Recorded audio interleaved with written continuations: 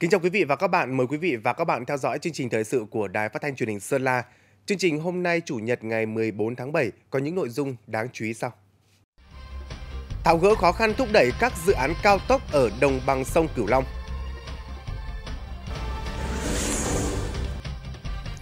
Thuận Châu quan tâm triển khai dự án hỗ trợ sản xuất cho người dân vùng đồng bào dân tộc thiểu số và miền núi.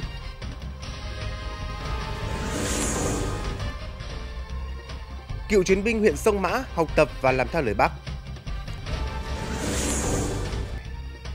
Tổ chức cuộc thi tìm hiểu công tác cải cách hành chính tỉnh Sơn La năm 2024.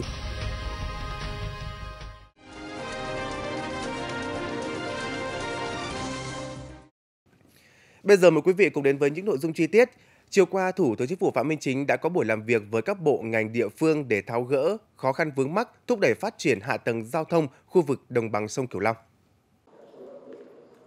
Hiện nay, khu vực đồng bằng sông Cửu Long đang triển khai 5 dự án giao thông trọng điểm thuộc diện chỉ đạo của Ban chỉ đạo nhà nước các công trình dự án quan trọng quốc gia, trọng điểm ngành giao thông vận tải. Đến nay, 4 trên 5 dự án đã hoàn tất các thủ tục đầu tư đang tổ chức triển khai thi công. Từ đầu nhiệm kỳ đến nay, cùng với chủ trì các hội nghị, ban hành hàng trăm văn bản chỉ đạo điều hành, đôn đốc triển khai các dự án cao tốc, Thủ tướng Chính phủ trực tiếp 5 lần kiểm tra công trường, đôn đốc thăm động viên cán bộ công nhân nhà thầu thi công, tháo gỡ khó khăn đẩy nhanh tiến độ thi công, chỉ đạo Phó Thủ tướng và các bộ trưởng 3 lần trực tiếp làm việc tháo gỡ khó khăn về vật liệu để đẩy nhanh tiến độ thi công công trình.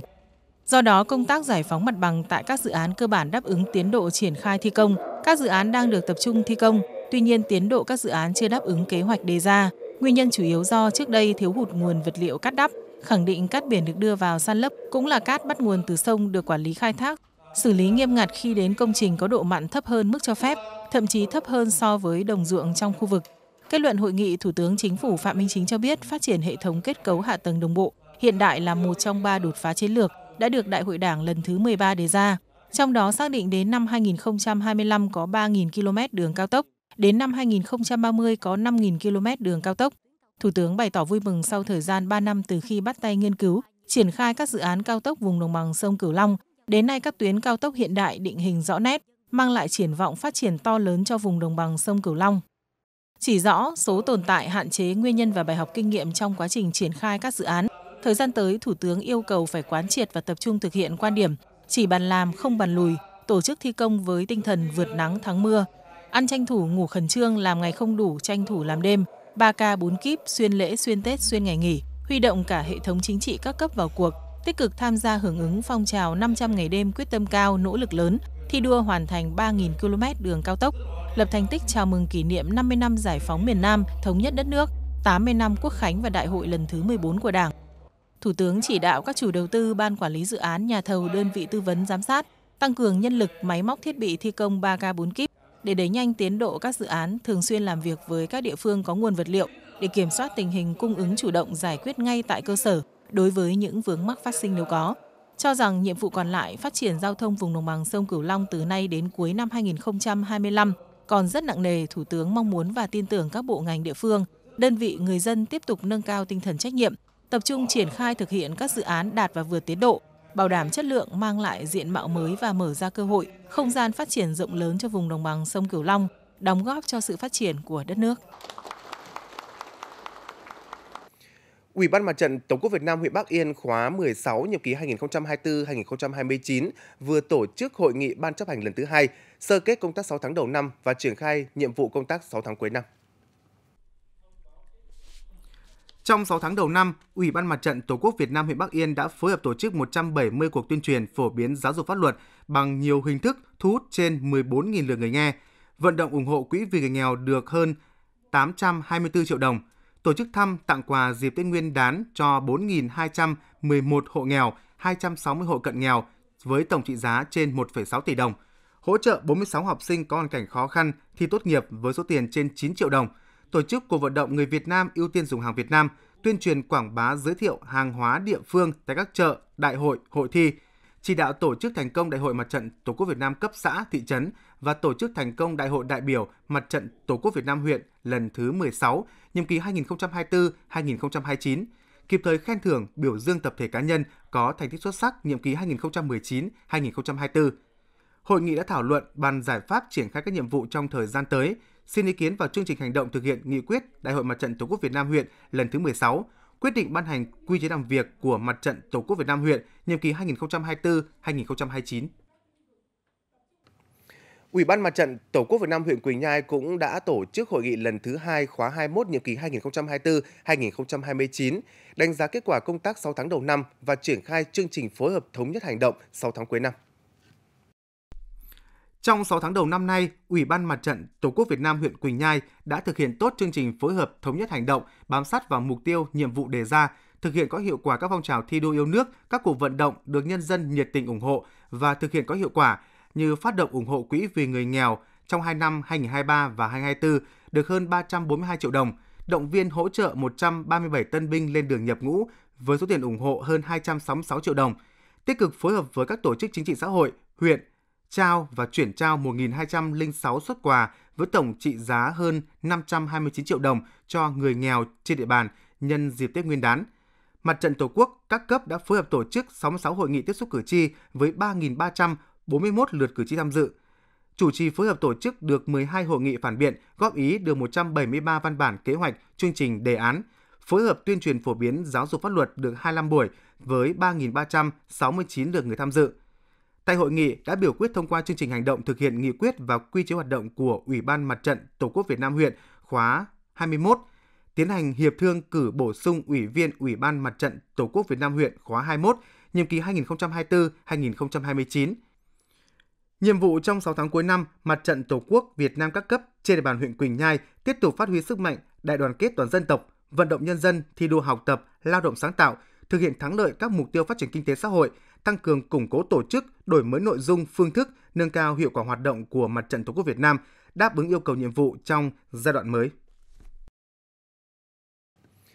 Thực hiện chương trình Mục tiêu Quốc gia Phát triển Kinh tế Xã hội vùng đồng bào dân tộc thiểu số và miền núi giai đoạn 2021-2025, thời gian qua nhiều chính sách hỗ trợ đồng bào dân tộc thiểu số đã được huyện Thuận Châu triển khai đồng bộ và đạt được những hiệu quả tích cực, góp phần trong việc nâng cao đời sống cho người dân trên địa bàn.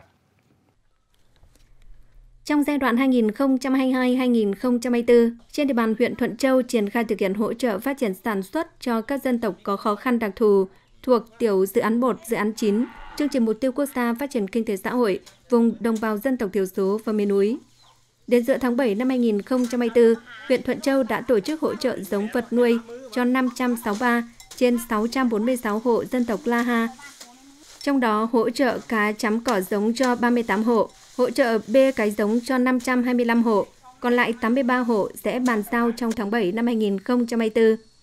Việc triển khai thực hiện tốt các dự án, tiểu dự án của chương trình đã góp phần nâng cao đời sống của bà con, đồng bào dân tộc thiểu số và miền núi nói chung. Các hộ dân tộc La Han nói riêng đã góp phần tạo sinh kế cho các đối tượng thụ hưởng, giúp các hộ gia đình vươn lên thoát nghèo, cải thiện và nâng cao đời sống vật chất và tinh thần cho dân tộc La Ha. Phát huy phẩm chất bộ đội Cụ Hồ, Hội Cựu chiến binh huyện Sông Mã đã luôn tích cực đẩy mạnh học tập và làm theo tư tưởng đạo đức, phong cách Hồ Chí Minh, qua đó tạo sức lan tỏa sâu rộng trong cán bộ hội viên và nhân dân bằng nhiều việc làm cụ thể thiết thực hiệu quả. Sau khi rời quân ngũ trở về với cuộc sống đời thường, nhiều thương binh bệnh binh, cựu chiến binh của huyện Sông Mã đã phát huy phẩm chất bộ đội Cụ Hồ, cần cù lao động, vươn lên làm giàu. Trong đó có thương binh Lò Văn Nẹ ở bản Triềng Cang, xã Triềng Cang – trong quá trình tham gia chiến đấu tại chiến trường Lào, không may bị thương ở cánh tay. Năm 1980, do sức khỏe ông Nẹ được xuất ngũ trở về địa phương, được Đảng Nhà nước công nhận là thương binh hạng 4 trên 4, mất sức 22%. Thấm nhuần lời dạy của bác Hồ, thương binh tàn nhưng không phế, ông cùng gia đình phát triển kinh tế. Hiện nay, gia đình ông Nẹ có một hecta nhãn cho thu hoạch được 5 năm, mỗi năm trừ chi phí được 70 triệu đồng. Gia đình phát triển thêm lợn, trong chuồng hiện có 10 con lợn nái, 2 con lợn đực, 50 con lợn thịt. Từ đầu năm đến nay, gia đình ông đã xuất được 23 tấn lợn thịt, thu được 150 triệu đồng. Ngoài ra, ông còn nuôi 15 cặp rúi nhuốc bố mẹ và hơn 100 con gà. Bản thân cũng ờ, luôn cố gắng ờ, tìm tòi học hỏi ờ, những cái mô hình để áp dụng làm ăn kinh tế ở trong gia đình thế cùng vợ cùng con Ờ, xây dựng gia đình thì ờ, xây dựng kinh tế ví dụ ờ, các mô hình trồng cây này ăn quả này rồi là chăn nuôi này những cái giá trị nào có kinh tế thì là chúng tôi cũng áp dụng vào để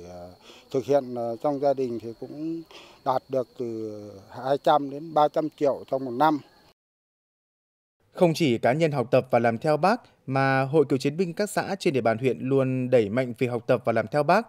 Tiêu biểu có Hội Cựu Chiến binh xã Triềng Sơ đã tổ chức các buổi tuyên truyền với nhiều hình thức, triển khai đến hội viên cựu chiến binh về chuyên đề học tập và làm theo tư tưởng đạo đức, phong cách Hồ Chí Minh. Để việc học tập và làm theo bác được triển khai sâu rộng, Hội Cựu chiến binh huyện Sông Mã đã xây dựng kế hoạch với những nội dung, việc làm cụ thể và triển khai đến các cơ sở hội, thường xuyên tiến hành kiểm tra giám sát việc học tập và làm theo tư tưởng đạo đức, phong cách Hồ Chí Minh. Nhờ đó mà hàng năm 100% tổ chức hội cựu chiến binh đều đạt trong sạch vững mạnh, 91% gia đình hội viên đạt tiêu chuẩn gia đình văn hóa, 96% hội viên gương mẫu, không có cơ sở hội yếu kém.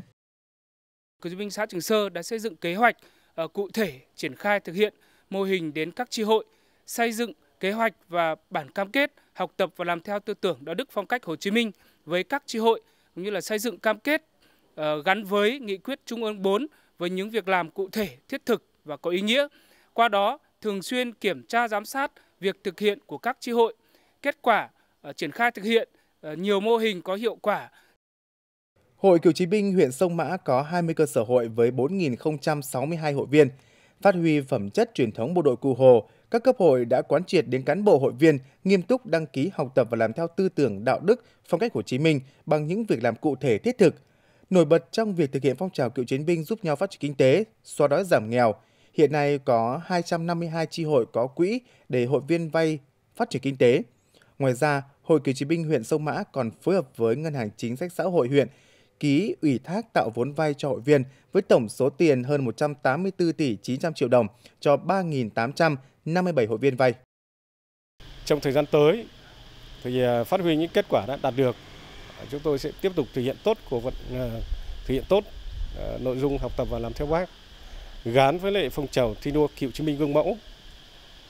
và đặc biệt là tuyên truyền vận động cán bộ hội viên à, phát huy những cái bản chất truyền thống bộ đội cụ Hồ trong à, thực hiện cuộc vận động.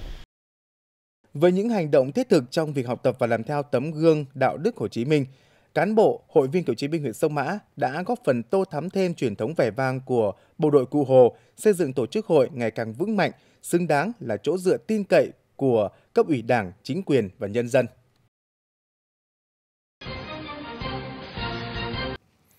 nhằm nâng cao nhận thức của đội ngũ cán bộ công chức viên chức và nhân dân về tầm quan trọng của công tác cải cách hành chính để triển khai thực hiện có hiệu quả chương trình cải cách hành chính nhà nước giai đoạn 2021-2030, góp phần xây dựng nền hành chính dân chủ, chuyên nghiệp hiện đại, tinh gọn, hiệu lực hiệu quả. Ủy ban Nhân dân tỉnh Sơn La tổ chức cuộc thi tìm hiểu công tác cải cách hành chính tỉnh Sơn La năm 2024. Cuộc thi chính thức bắt đầu từ ngày 15 tháng 7 năm 2024 theo hình thức thi trực tuyến và diễn ra trong 4 tuần – Đối tượng dự thi là công chức viên chức thuộc các sở, ngành, ủy ban nhân dân các huyện thành phố và cán bộ công chức tại ủy ban nhân dân các xã phường thị trấn trên địa bàn tỉnh. Nội dung thi tìm hiểu các chủ trương chính sách của Đảng, pháp luật của nhà nước, các văn bản của Bộ, ngành trung ương và của tỉnh Sơn La về cải cách hành chính nhà nước giai đoạn 2021-2030 như chương trình tổng thể cải cách hành chính giai đoạn 2021-2030 của Chính phủ, nghị quyết của Ban chấp hành Đảng Bộ tỉnh về đẩy mạnh cải cách hành chính nhà nước tỉnh Sơn La giai đoạn 2021-2025, kế hoạch cải cách hành chính giai đoạn 2021-2025 và kế hoạch cải cách hành chính năm 2024 của Ủy ban Nhân dân tỉnh và các văn bản liên quan. Tìm hiểu về các luật ban hành văn bản quy phạm pháp luật trong công tác cải cách hành chính, các nội dung về xây dựng chính phủ điện tử, chính quyền số, chương trình chuyển đổi số quốc gia đến năm 2025, định hướng đến năm 2030 Cuộc thi trực tuyến tìm hiểu công tác cải cách hành chính tỉnh Sơn La năm 2024 nhằm khuyến khích các cơ quan đơn vị, tổ chức cá nhân tìm hiểu về cải cách hành chính, nghiên cứu đề xuất sáng kiến, giải pháp cải cách hành chính, qua đó nâng cao chất lượng phục vụ người dân, đặc biệt là tuyên truyền về thủ tục hành chính và dịch vụ công trực tuyến, góp phần đẩy mạnh công tác cải cách hành chính trên địa bàn tỉnh. Công an tỉnh Sơn La vừa tổ chức sinh hoạt chính trị tập trung kỷ niệm 78 năm ngày truyền thống lực lượng an ninh nhân dân. Các đại biểu đã được xem phim tư liệu ôn lại truyền thống lịch sử vẻ vang, chiến công thầm lặng của lực lượng an ninh nhân dân trong quá trình xây dựng chiến đấu và trưởng thành. Trong không khí vui tươi phấn khởi, lãnh đạo Công an tỉnh đã trao đổi định hướng đối với cán bộ chiến sĩ, lực lượng an ninh nhân dân của Công an tỉnh. Chia sẻ những kinh nghiệm trong quá trình công tác, đồng thời chỉ đạo định hướng khối an ninh nhân dân về công tác nghiệp vụ cũng như các lĩnh vực công tác chuyên môn của từng đơn vị theo chức năng, nhiệm vụ được giao. Qua đó giúp cán bộ chiến sĩ nhận thức sâu sắc hơn nữa về 78 năm ngày truyền thống lực lượng an ninh nhân dân, củng cố niềm tin, phát huy trách nhiệm đối với nhiệm vụ bảo đảm an ninh trật tự, xây dựng thế trận an ninh nhân dân vững chắc, hoàn thành xuất sắc nhiệm vụ được giao. Công an tỉnh Sơn La vừa phối hợp với Cục Y tế Bộ Công an tổ chức tập huấn cấp cứu chấn thương, phòng chống tai nạn thương tích và công tác vận động hiến máu tình nguyện năm 2024 cho gần 300 cán bộ chiến sĩ là lãnh đạo chỉ huy các đơn vị công an toàn tỉnh. Tại buổi tập huấn, các học viên được truyền đạt những kiến thức cơ bản về garo cầm máu, hồi sinh tim, phổi, sơ cứu gãy xương bằng video clip, hình ảnh sinh động và thực hành trên mô hình với các ví dụ cụ thể để cán bộ chiến sĩ dễ hình dung và vận dụng trong quá trình thực hiện nhiệm vụ, đồng thời nâng cao nhận thức cho cán bộ chiến sĩ lực lượng công an về mục đích ý nghĩa cao đẹp, tính nhân văn của hoạt động hiến máu tình nguyện. Thông qua buổi tập huấn nhằm trang bị cho cán bộ chiến sĩ những kiến thức kỹ năng cơ bản về công tác sơ cấp cứu ban đầu cho nạn nhân kịp thời hiệu quả đối với các tình huống xảy ra trong công tác chiến đấu, cứu nạn cứu hộ cũng như triển khai có hiệu quả phong trào hiến máu tình nguyện trong lực lượng công an nhân dân. Hội Liên hiệp Phụ nữ tỉnh Sơn La vừa tổ chức hội nghị tập huấn trang bị kiến thức về bình đẳng giới, kỹ năng thực hiện lồng ghép giới cho 35 học viên là các chủ tịch, phó chủ tịch Hội Liên hiệp Phụ nữ các xã trên địa bàn huyện Vân Hồ. Trong thời gian tập huấn, các học viên được cung cấp các kiến thức về giới và lồng ghép giới, vấn đề giới nổi bật của vùng dân tộc thiểu số và miền núi, truyền thông về bình đẳng giới, giám sát, đánh giá hiệu quả lồng ghép giới, đồng thời thảo luận, chia sẻ những nội dung liên quan về thực trạng định kiến, phân biệt đối xử về giới và các giải pháp để nâng cao nhận thức, thái độ về giới. Đây là một trong những hoạt động của dự án 8 về thực hiện bình đẳng giới và giải quyết những vấn đề cấp thiết đối với phụ nữ và trẻ em thuộc chương trình mục tiêu quốc gia phát triển kinh tế xã hội vùng đồng bào dân tộc thiểu số và miền núi giai đoạn 2021-2030. Thông qua tập huấn giúp các học viên nâng cao nhận thức về giới và bình đẳng giới, áp dụng các kiến thức được tập huấn để thực hiện lồng ghép giới trong tổ chức các hoạt động tại cộng đồng, nâng cao hiệu quả truyền thông thay đổi hành vi, từ đó dần xóa bỏ định kiến giới cho đồng bào dân tộc thiểu số trên địa bàn, góp phần thúc đẩy các mục tiêu phát triển kinh tế xã hội vùng dân tộc thiểu số và miền núi. Hội Liên Phụ nữ tỉnh Sơn La cũng đã phối hợp với Hội Liên Phụ nữ huyện Phú Yên tổ chức tập huấn trang bị kiến thức về bình đẳng giới cho 35 đại biểu là đội ngũ cán bộ trong hệ thống chính trị từ huyện đến xã tại huyện Phú Yên. Tại buổi tập huấn, các đại biểu đã được trang bị những kiến thức về vấn đề giới, kỹ năng truyền thông về bình đẳng giới, thảo luận trao đổi những khó khăn vướng mắc trong quá trình thực hiện. Đây là chương trình nhằm thực hiện hoạt động 4 về nâng cao năng lực của phụ nữ đồng bào dân tộc thiểu số tham gia ứng cử, vận động bầu cử vào các cơ quan dân cử thuộc dự án 8 về thực hiện bình đẳng giới và giải quyết những vấn đề cấp thiết đối với phụ nữ và trẻ em trong chương trình mục tiêu quốc gia phát triển kinh tế xã hội vùng đồng bào dân tộc thiểu số và miền núi. Hiện nay, Hội Liên hiệp Phụ nữ tỉnh có 12 tổ chức hội cấp huyện, thành phố và ba đơn vị trực thuộc. Trong năm 2024, Hội Liên hiệp Phụ nữ tỉnh phấn đấu tổ chức 5 lớp tập huấn kiến thức về bình đẳng giới tại các huyện, thành phố. Sau lớp tập huấn, các đại biểu trên sẽ trở thành cánh tay nối dài tuyên truyền giúp người dân cơ sở được nâng cao nhận thức về giới, bình đẳng giới, đảm bảo tiếng nói và sự tham gia của phụ nữ, trẻ em trong các hoạt động phát triển kinh tế xã hội, giám sát và phản biện, tạo điều kiện để phụ nữ và trẻ em gái có nhiều cơ hội hơn trong xã hội. Tới đây chương trình thời sự của Đài Phát thanh Truyền hình Sơn La xin được kết thúc. Cảm ơn quý vị và các bạn đã dành thời gian theo dõi. Xin kính chào tạm biệt và hẹn gặp lại.